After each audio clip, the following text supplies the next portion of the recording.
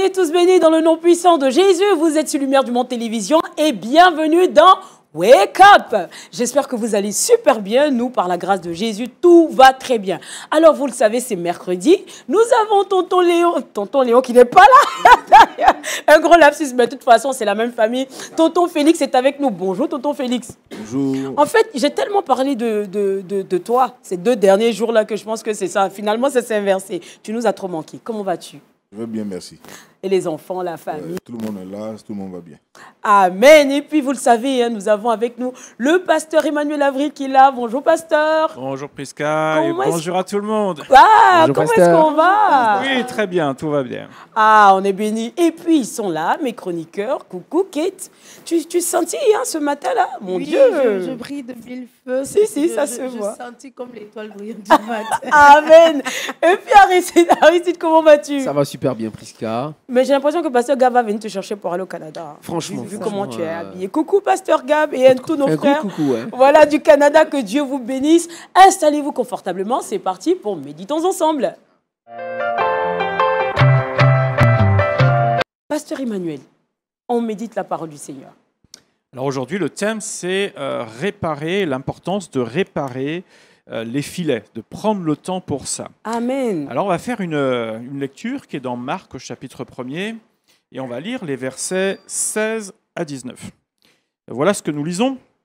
Comme il passait le long de la mer, il s'agit de Jésus, la mer de Galilée, il vit Simon et André, frères de Simon, qui jetaient un filet dans la mer, car ils étaient pêcheurs.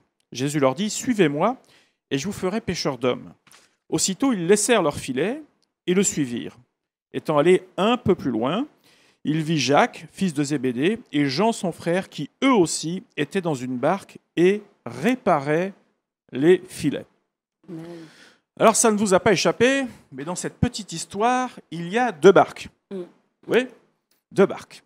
Il y en a une, on va dire, qui est en exploitation, Mhm. d'accord? Le- Les filets sont jetés, et on espère, évidemment, pour faire vivre la famille, l'exploitation, etc., de pouvoir amener beaucoup de poissons. Et il y a une deuxième barque qui, elle, semble plutôt à quai Mhm. Et pas du tout en train de travailler. Travailler. Elle est ce qu'on appelle en maintenance. Maintenant, euh, admettons que vous soyez les exploitants, vous. Quelle barque vous préférez, là, à ce moment-là? Celle qui travaille. Ah ben voilà, on est bien d'accord, parce que celle qui travaille doit vous rapporter. Et l'autre, vous vous dites, non seulement elle me fait perdre du temps, Mhm. mais en plus de ça, elle me coûte. C'est ça. elle me coûte. Mais on va s'apercevoir que ce que ces marins-là ont fait n'est pas une perte de temps. Amen. Ils ont, euh, alors vous savez que pour réparer les filets, on, on les inspecte. Alors il faut se remettre un petit peu dans le contexte de l'époque. Il n'y avait pas Mhm. tous les enrouleurs qu'on a aujourd'hui, les systèmes automatiques. hein. Mais pour, il, euh, régulièrement, il fallait inspecter les Mhm. filets. C'est-à-dire qu'on on- on les étendait et on regardait, on faisait défiler comme ça à la main. Ça va vite hein, quand même, malgré tout. Ils ont l'habitude, c'est des professionnels. Mais le but, c'était de détecter et de voir si j'avais, il y avait des mailles en fait, qui étaient soit usées sur le point de rompre, ou alors carrément euh, une maille, c'est-à-dire un fil qui a rompu. Et vous connaissez peut-être la technique du maillage à la pêche, qui fait que, et heureusement d'ailleurs, chaque fois qu'il y a un fil qui a rompu, on ne change pas tout le filet, mais on ne change que la maille qui est concernée, et ainsi on peut comme ça conserver l'ensemble du filet. Mais c'est un travail voilà, qui demande euh, de l'attention, et en même temps de venir justement remplacer ce qui a besoin de l'être. Donc tout ça, on, on a compris. Ne pas le faire, c'est prendre un risque. Pourquoi? Parce que si on laisse un fil euh, qui n'est pas euh, donc réparé et qu'on continue l'exploitation, la tension va se reporter sur les fils qui sont Mhm. autour. Et donc, euh, avec tout ça, le risque c'est quoi? Bah, C'est que la tension accumulée fait que d'autres mailles vont lâcher. Et si plusieurs dans un même secteur lâchent, au bout d'un moment, c'est le filet qui d'un seul coup rompt. Et même si vous avez fait une belle pêche, eh ben, vous les voyez tous partir les poissons. Alors c'est le jour de joie des poissons, mais pas le vôtre. Voilà, Hein, c'est voilà ce qui se passe. Et alors ce qui va être intéressant ici dans ce texte, c'est de voir que le terme qui est utilisé pour réparer les filets va être réutilisé dans d'autres textes, non pas pour euh, la pêche et les poissons, Mhm. mais en fait pour notre propre vie. Et ce terme grec, c'est cathartizo. Voilà, cathartizo, qui signifie raccommoder, Mhm. réparer, compléter, perfectionner. Et donc, on va retrouver ce terme dans d'autres passages bibliques. Un premier que je vais vous lire, que vous connaissez bien, c'est 1 Pierre 5, 10. Le Dieu de toute grâce qui vous a appelé en Jésus-Christ à sa gloire éternelle. Après que vous aurez souffert un peu de temps, vous perfectionnera, perfectionnera cathartizo, Mhm. lui-même vous affermira, vous fortifiera et vous rendra inébranlable. C'est-à-dire qu'après que vous aurez souffert, il nous est dit, il va vous raccommoder, il va vous réparer, Mhm. il va vous rendre à nouveau opérationnel. Un autre texte qui nous parle de ça, c'est Luc 6,40, où il nous est dit que le disciple n'est pas plus que le maître, mais tout disciple accompli, c'est-à-dire tout disciple réparé, tout disciple raccommodé, euh, remis en état de pouvoir fonctionner, sera comme son maître. Voilà ce que nous disent ces textes. Alors ça nous dit que en fait la maintenance c'est pas une perte de temps. Mhm. Et le fait d'inspecter nos vies de temps en temps n'est pas une perte de temps. Vous savez, parfois, quand euh, on reçoit une, euh, une parole un peu dure, Mm. des remarques qui sont injustes, lorsque on nous fait du mal, lorsqu'on vit l'injustice, parfois on dit, et on est tous un peu pareil, on dit euh, Oh, c'est pas grave, je laisse. Mais la réalité, c'est que même si on dit ça, ça laisse quand même des, des traces. des dégâts, ça laisse des ouais, traces. ouais. Et c'est un peu comme une plaie qui est, qui est ouverte. Et euh, vous savez comme moi que quand euh, on, on- on soigne une plaie rapidement, généralement, euh, ça va assez vite Mhm. pour guérir. Mais si jamais on la laisse s'infecter, alors il faut ce qu'on appelle, euh, on a une expression pour ça, c'est Mm. un traitement de cheval. C'est-à-dire Mm. là, on y va à grosse dose, Mhm. ça fait mal, ça peut prendre du temps, ça peut même donner la fièvre, l'infection, enfin bref, là, on part dans des complications qu'on n'aurait pas eu si jamais on avait fait les choses en temps et en heure. Et inspecter les filets, donc inspecter notre vie, c'est une image en fait euh, qui est là, c'est de se faire le point de temps en temps. Quand on dit de sonder nos cœurs, c'est pas juste est-ce que Seigneur je pêche ou je pêche pas? C'est ça bien sûr, mais c'est pas que ça. C'est aussi pouvoir se dire bien dans quel état je suis en ce moment? Mhm. Bien sûr, je suis au Seigneur, bien sûr, j'aime le Seigneur, mais vous savez comme moi que la vie, c'est la vie. Et que parfois, de temps en temps, bien, il y a des choses qui nous dérangent. On vit un peu de frustration, il y a euh, des choses qu'on vit plus ou moins bien. Et donc, ça laisse des traces.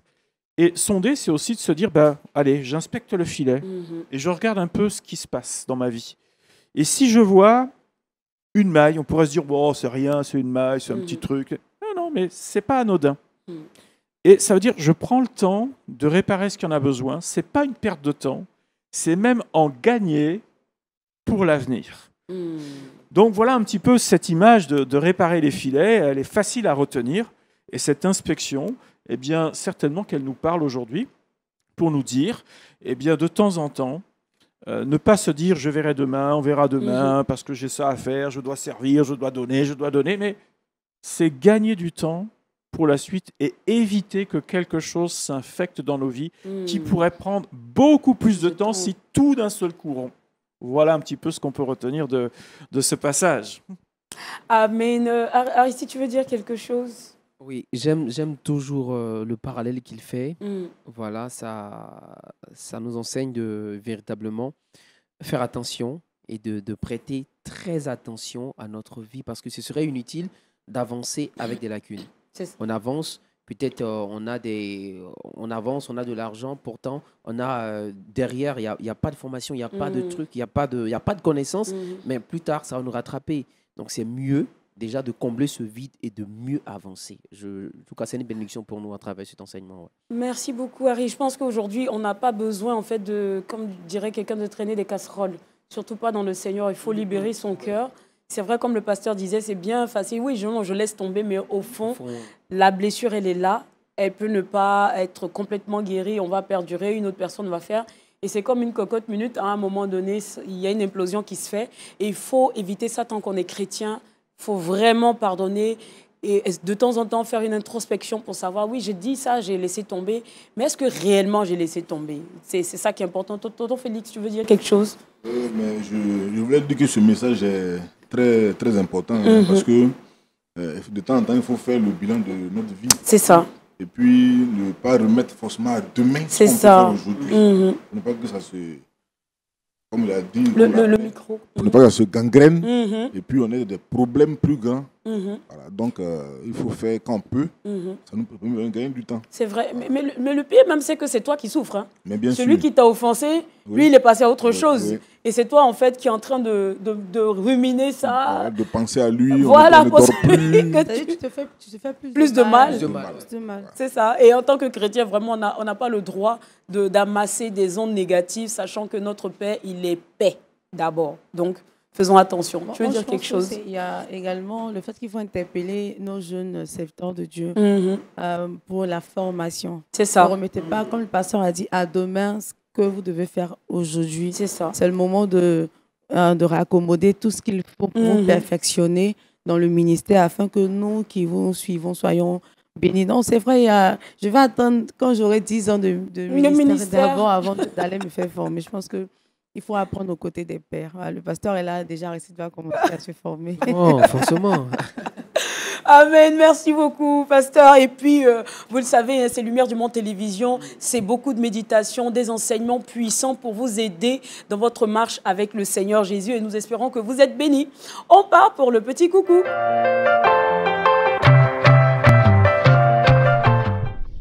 le petit coucou coquin pour notre sulfureuse et talentueuse animatrice Priska Malon de LMTV, la télé que tous regardent avec beaucoup de joie et de passion.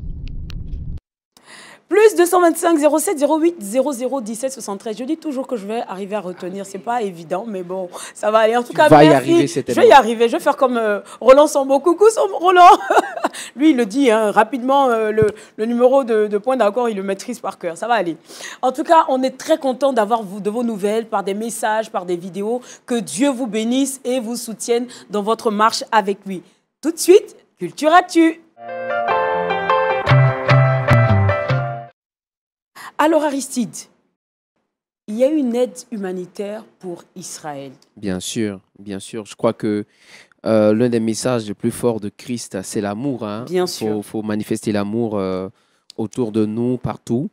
Voilà, nous avons tous été témoins depuis le 7 octobre Mhm. 2023. Mhm. euh, Israël a été vraiment secoué et long tout hein, ça. même. Ça fait quand même euh, un bon temps, Mhm. mais le Seigneur, il est, il est Il fidèle. est fidèle. Vous savez, en toute logique, le Seigneur permet certaines circonstances Mhm, pour glorifier son nom. mhm. Voilà, nous n'ignorons pas la présence de l'adversaire, mais aussi nous n'ignorons pas la puissance de Dieu à nos côtés. Et oui, il est question là de, de Franklin Graham, Franklin Graham qui est vraiment un passionné de, de, de l'évangile. On le voit, c'est quelqu'un personnellement qui m'a boosté, qui me booste toujours. Je, je lis ses livres et puis je suis un peu ses temps d'évangélisation.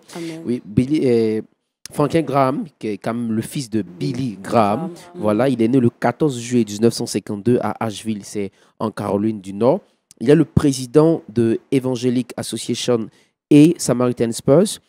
Par la grâce de Dieu, il a décidé cette fois-ci, après le constat de plusieurs blessés, plusieurs Mhm. morts là-bas en Israël, il a décidé d'apporter plus de 14 ambulances au pays à. Israël.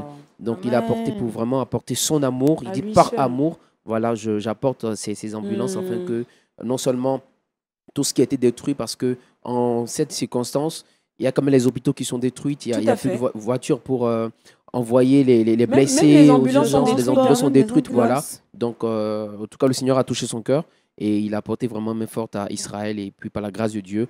Non seulement il est allé visiter les familles endeuillées, Mm. il y a des familles qui étaient là, des, des- des parents qui ont perdu leurs enfants et tout ça qui étaient là et qui ont témoigné de leur gratitude, leur, leur remerciement en faveur de- du serviteur de Dieu et il aussi qui a prié pour eux, qui continue de prier pour Israël. Je rappelle que tout au long de cette, euh, cette guerre, LMTV n'a cessé de prier, bien Lumière du. Monde n'a cessé de soutenir euh, Israël et nous prions toujours pour Israël afin que Dieu encore puisse faire voir sa gloire. Et la victoire, Amen. certainement, est la nôtre. Amen. Et nous rendons grâce à Dieu pour toutes ces initiatives-là.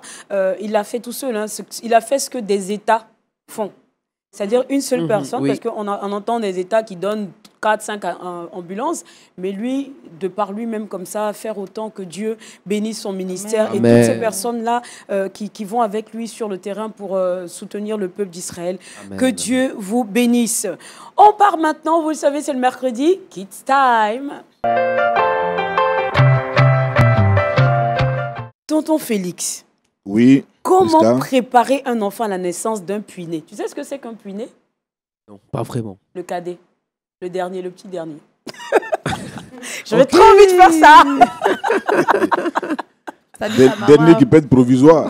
Qui peut être provisoire, parce que son- tant que la maman est bien, que le papa est bien, son rôle On de peut peut, peut sauter à tout On moment. peut continuer. Ok, merci Briska. Euh, effectivement, dans le cadre de la protection des enfants, toujours, je Mhm, pense que c'est un sujet qui est important. Tout à fait. Parce que, voilà, on fait des enfants, mais on ne, on ne, on ne voit pas que ce sont des. Ce sont des on sait que c'est des êtres humains, Mhm, mais on ne sait pas qu'eux aussi ils ressentent C'est ça.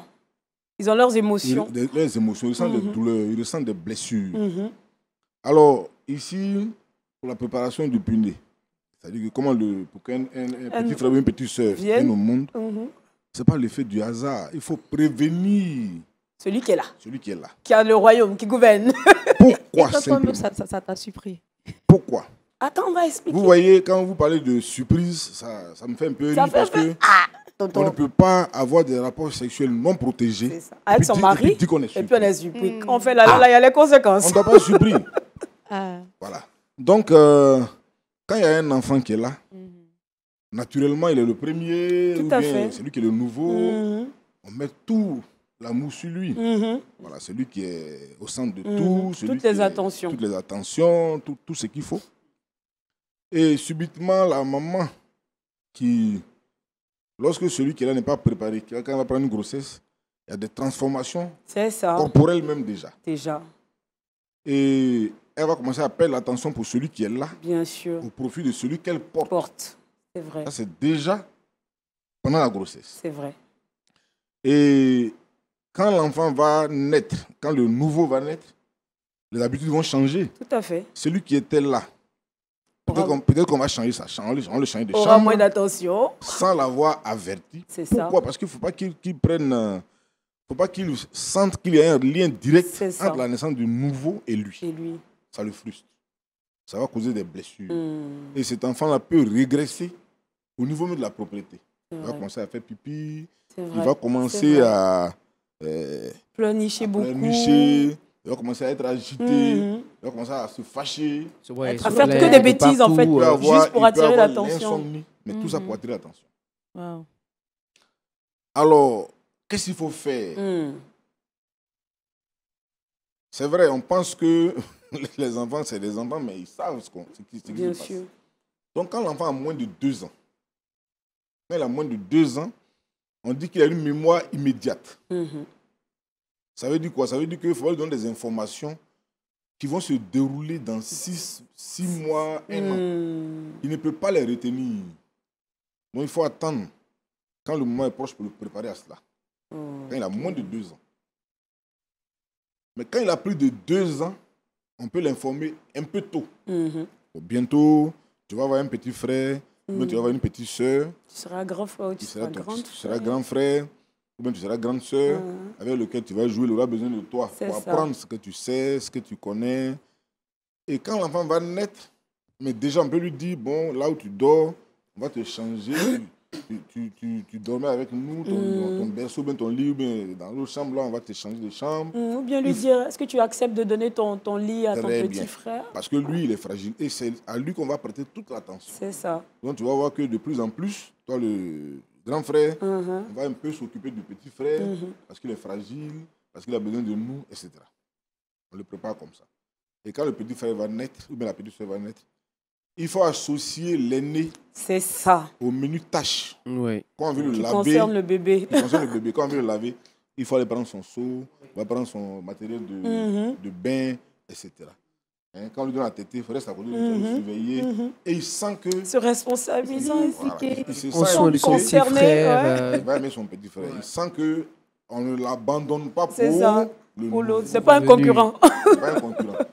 En ce moment, la jalousie va être moindre. Moindre, Parce que la c'est jalousie vrai. est naturelle. C'est vrai. Mais quand vous l'abandonnez de façon brutale, naturellement, la jalousie va le pincer, il va le taper. Oui, tonton Félix, c'est-à-dire des fois même quand l'enfant veut prendre son petit frère, sa petite frère, faut pas toucher mon bébé. Voilà. Et ça, c'est pas bon.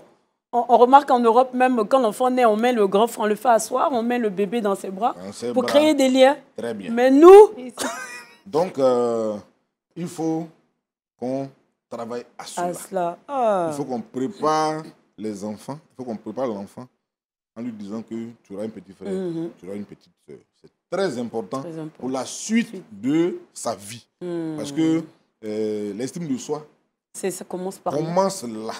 Ça se prépare à partir de ce moment-là. Quand il subit beaucoup de blessures, parce que c'est frustration. Bien sûr. Il va se dire, voilà, on ne m'aime pas, on ne fait pas ceci. Hmm, Ils ont eu leur nouveau bébé. Ils ont eu un nouveau bébé. moi. Il peut même avoir un esprit même de le voir disparaître. Dis- Oui, Il peut, Même- il peut détester. Ah, oui, même oui, même oui. s'il n'a pas les moyens de, De le faire. mais il peut avoir ça à l'esprit. pensées. Porté en haine. euh, ouais. Voilà, il peut porter la haine. S'il n'est pas là, moi, ils vont m'aimer encore. Voilà. Donc, Hey. euh, voici des sujets très importants. Très, très. Il faut faire attention. Ne faites pas les enfants comme ça parce qu'il faut le faire. Il faut préparer celui qui est là. Et le bébé qui va venir, qui va prendre toute l'attention, lui aussi, quand on va, Ton micro, ton- quand on va programmer Mhm. celui qui va le Le suivre, celle qui va le suivre, il faut lui également le, le, le même, fonctionnement. le même processus. Ouais. Très important.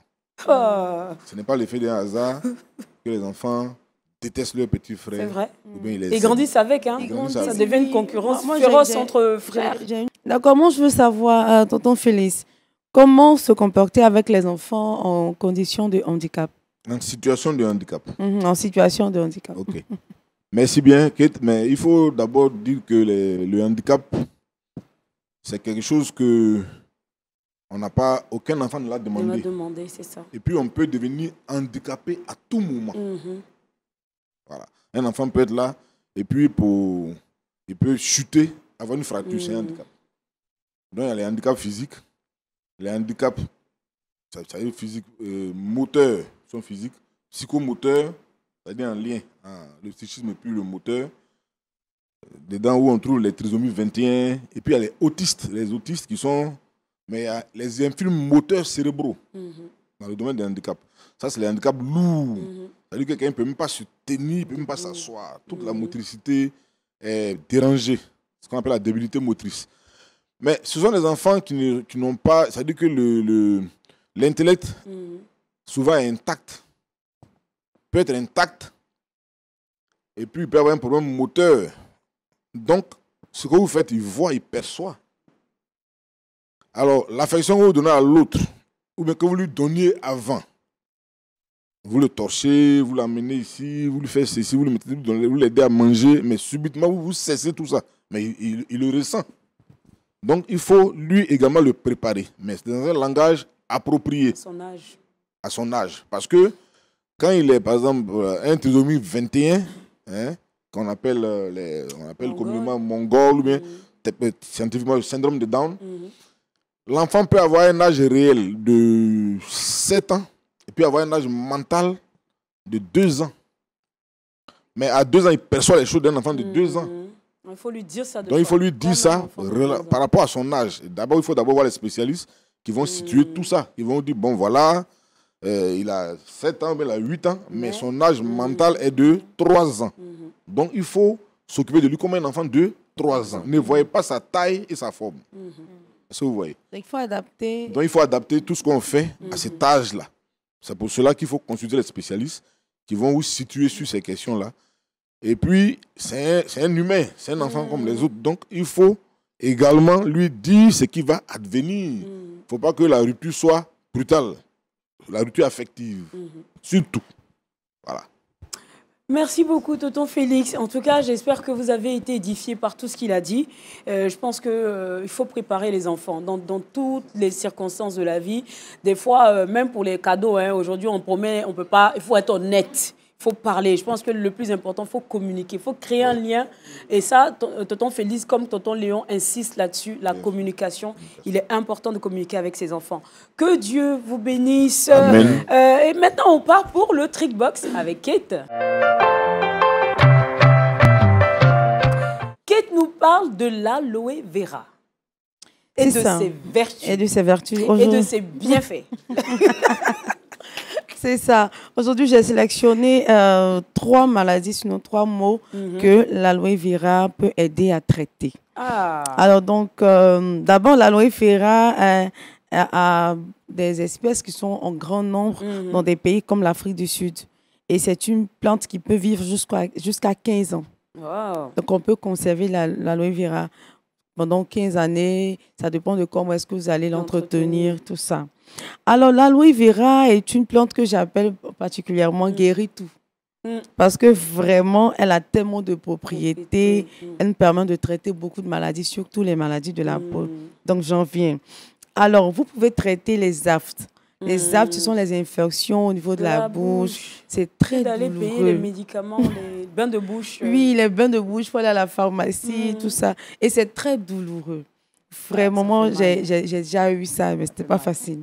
Ah, Alors, pour traiter les arbres, c'est tout simple. Vous retirez la pulpe de l'aloe. Ensuite, vous euh, le mettez dans, bon, vous la mettez dans un bain chaud. mm. Donc, vous allez faire bouillir de l'eau. Vous allez mettre euh, la pulpe de l'aloe vera et laisser refroidir. Bon, tiédi, et vous utilisez pour faire un bain de bouche. Ah. Vous voyez, c'est tout simple. C'est tout simple. C'est- moins coûteux en plus. Sans produits Voilà, sans produits chimiques. Généralement, la plupart des produits même sont à base d'aloe. Ouais. Alors, donc, vous pouvez soulager les aftes. Ensuite, si vous avez des problèmes de peau, Mhm. si vous avez la peau sensible, Mm. vous utilisez des, des- des- des produits cosmétiques et puis après vous avez des problèmes, vous pouvez utiliser des produits cosmétiques à base d'aloe. Alors, il y a certaines maladies cutanées que l'aloe aide à apaiser, pas à traiter, comme euh, les émas et puis le psoriasis. La psoriasis. La. Pso- Le nom là me fatigue. Vous allez y arriver. Psoriasis. Ah, ah, c'est ça ce que c'est Non, pas Moi, mais j'ai du mal à prononcer le mot. Psoriasis, c'est c'est des plaques qui apparaissent pour les personnes de peau claire. peau claire. Ça fait des rougeurs et ça fait mal, ça C'est gratte. c'est un peu comme des, des, des croûtes comme ça. Voilà, et après ça desquame, c'est-à-dire la peau s'enlève comme ça. Ah, Et pour les noirs, ça blanchit. Oui, ça blanchit. Tu vois, généralement, ça gratte dans, et ça fait dans, mal. dans le cou. C'est ça, dans le en- les bras, euh, les Voilà. Et c'est, ce sont des, des, des maladies qu'on ne peut pas, qui sont incurables. Mhm. C'est, c'est dû généralement au stress, Mhm. tout ça. Donc, je ne peux pas dire que l'aloe va vous aider à guérir. C'est pourquoi je dis à apaiser, Mhm. parce que c'est très douloureux, ça Ça fait mal, démange. ça démange. Donc, vous pouvez utiliser des produits à base d'aloe pour apaiser vraiment votre, vos douleurs. Mhm. Et puis, je pense qu'avec euh, l'accompagnement des médecins et autres, vous serez euh, soulagé. Sinon, vous pouvez prendre la- l'aloe comme ça, Mhm. le mettre dans, dans de l'eau chaude et puis essayer de vous, prendre un bon bain. voilà, de prendre un bain.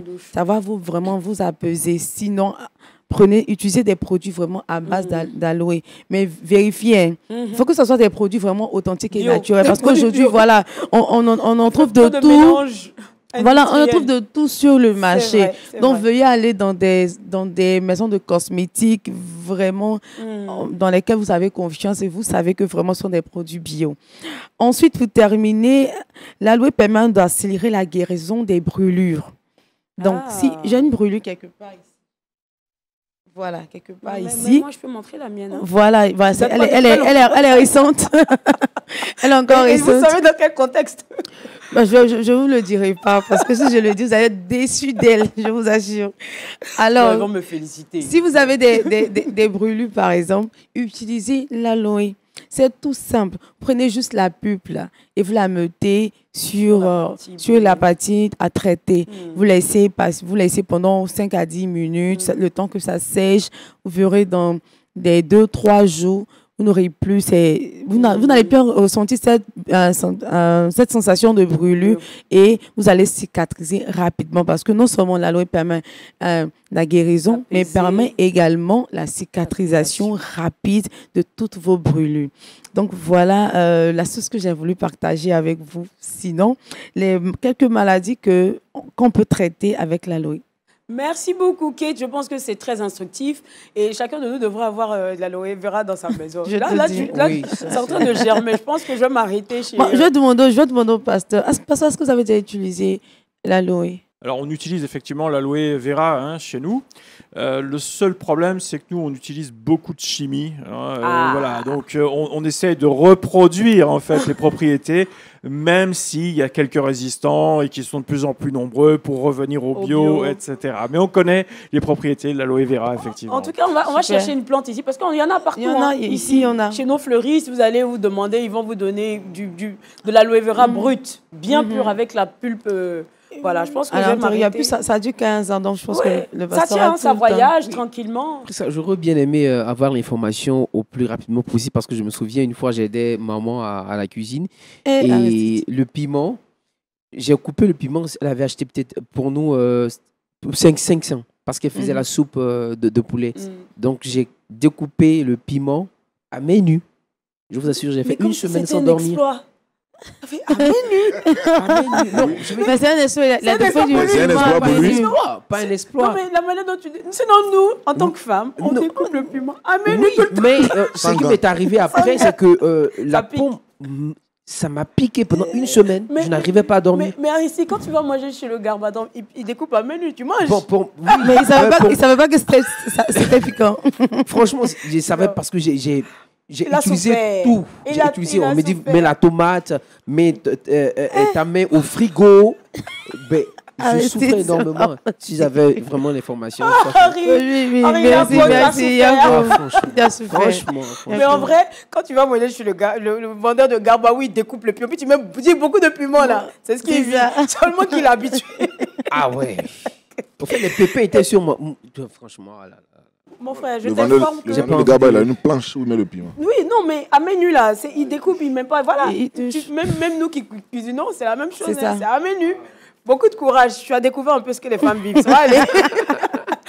Merci beaucoup, Makit. On part pour le saviez-vous Mais Arisi, je pense que je vais me moquer de toi pendant longtemps S'il te sur cette plaît. affaire. Parce que, S'il te en fait, plaît. il en parle comme si c'était un exploit. Alors, on parle du livre d'Esaïe. Tu es mon fils, mais je vais t'attacher. C'est pas grave. Le livre d'Esaïe. Oui. Pour la petite histoire, le livre euh, d'Ésaïe est considéré comme euh, la petite Bible dans la Bible. Mhm. Pourquoi? Parce que le livre d'Ésaïe est composé de 66 chapitres. Mhm. La Bible également est composée de 66 Sur livres. six livres. Et bon, pour la petite histoire aussi, euh, certaines informations bon, qui ne sont pas trop avérées, Mhm. on suppo- suppose que euh, le prophète Isaïe serait mort, euh, scié. Mais bon, c'est à vérifier, on n'a pas l'information. Il ne faut, pas que euh, voilà. faut pas que les théologiens nous, nous, nous envoient Voilà, des voilà. Donc, faut, euh, faut laisser ça. serait, comme je l'ai dit, euh, c'est, Mm. ça c'est quand même euh, C'est plus prudent. voilà, à, vé- à vérifier. Donc, le, le- le prophète, je dirais, le, le- le livre d'Ésaïe est considéré comme euh, euh, l'un des, des grands, euh, les grands prophètes, Mhm. pas parce que euh, il, est, il est considéré comme euh, quelqu'un qui a fait de grands exploits, non, mais tout simplement, il est considéré comme euh, l'un des grands prophètes relativement à la longueur des chapitres qu'il a écrits en Mhm. fonction des 66 livres. Après euh, Ézéchiel, Jérémie et Daniel, qui eux ont moins écrit que le prophète Ésaïe. Donc, l'information que je voudrais donner, c'est que non seulement Ésaïe est considéré comme la petite Bible, mais aussi Ésaïe est considéré comme l'un des prophètes messianiques. C'est-à-dire la plupart de ses écrits concernent le Messie. Mhm. Voilà, donc voici euh, en, quelques, en quelques peu de mots l'information qu'on pourrait avoir sur le livre de Ésaïe, du prophète Ésaïe.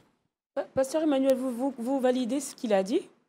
Alors euh, oui, on peut voir en tout cas en Ésaïe un, un- un prophète qui à la fois parle euh, effectivement sur le, son temps, euh, le temps dans lequel il vivait, mais Mhm. aussi toute une projection messianique avec euh, notamment Ésaïe 53 que tout le Mhm. monde connaît, euh, vraiment avec des détails qui sont Mhm. donnés sur, sur Jésus et les chapitres d'après bien sûr, et il y a d'autres endroits encore. Donc oui, oui, il y a, il y a vraiment euh, quelque chose, il y a l'essence là de, de l'évangile hein, qui, est, qui est là-dedans. Ouais. hein. Ouais, ouais. Amen. En tout cas, merci beaucoup, Harry. Merci. Non, il fallait que je demande, hein, parce que Oui. toi, avec tes histoires de piment, maintenant, là, je vais contrôler ce que tu dis. tu en as pour 10 ans avec moi. Donc, faut bien t'asseoir, ça va pas venir. Tonton Félix, euh, Oui. on, tire à la, à la fin de cette émission un, un mot de fin pour, euh, pour tous ces parents-là, surtout ces parents africains qui, qui, des fois, ils ont l'impression que les enfants sont censés accepter d'office le petit frère ou la petite sœur qui va naître, alors qu'il y a toute une préparation qu'il faut faire pour que l'enfant ne perde pas son estime de, de soi. Oui. Merci bien, euh, Prisca. effectivement, ben, ben, je crois que les enfants, ce sont les enfants. hein. Ils ont, Mhm. ils ont, qu'ils soient occidentaux, qu'ils Mhm. soient européens, qu'ils soient africains, ce Mhm. sont les enfants.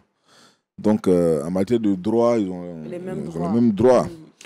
Donc, il ne faudrait pas que les parents se disent euh, que l'enfant, c'est quelqu'un, c'est- il vient comme ça. Non.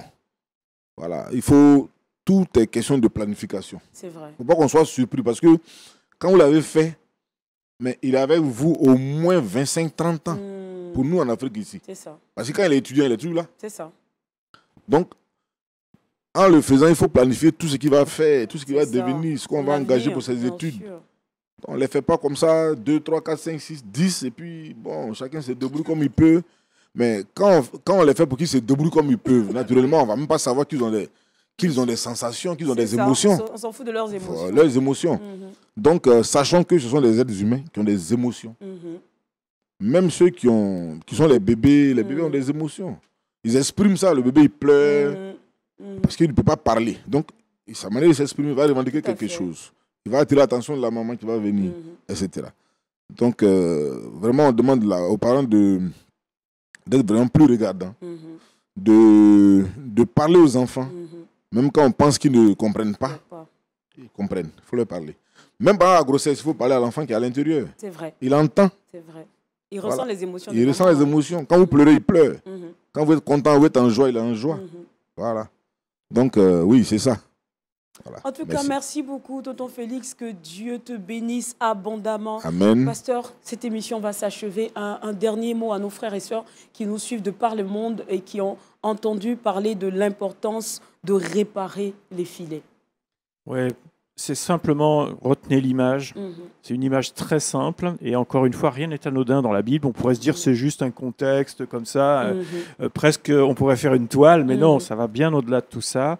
C'est prendre le temps, voilà, d'inspecter un petit peu ce qui se passe dans nos vies Mhm. et si nécessaire, eh bien permettre à Dieu de réparer tout ça avant que ça prenne certaines ampleurs. Voilà. Amen. Amen. Amen. Soyez bénis, pasteur. Merci beaucoup. Kate, le verset boussole? Le verset boussole, Luc 6, euh, chapitre 40. Luc. Le disciple n'est pas plus que le maître, mais tout disciple accompli sera comme son maître. Amen. Amen. Et nous Amen. avons le devoir, en tant qu'enfants de Dieu, de refléter euh, le Seigneur Jésus. Et je prie euh, que chacun de vous, chez lui, reçoive ce- ce- cette méditation, reçoive cette parole du pasteur et que vous soyez richement bénis. Nous souhaitons de passer une excellente journée sur Lumière du Monde Télévision. C'était Wake Up. Shalom. Shalom.